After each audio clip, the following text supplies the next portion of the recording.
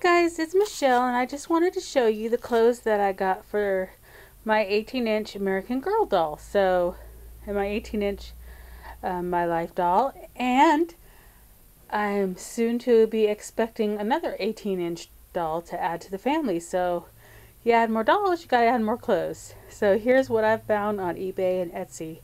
I found this really cute flannel nightgown. It's got lace trim and it's got ballerinas on it. It's really cute. So I got that. I found this cute Halloween dress. It was a really good deal, so I had to get it.